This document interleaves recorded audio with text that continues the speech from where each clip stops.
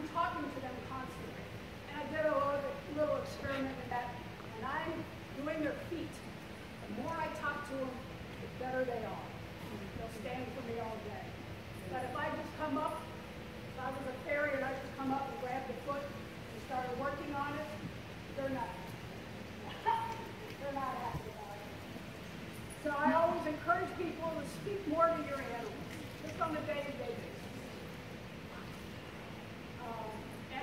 use a lot with my lion.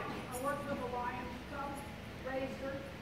She uh, got to go on a, she was in uh, a TV show in Britain and then she came to us over here in California. She was on the uh, Jay Leno show.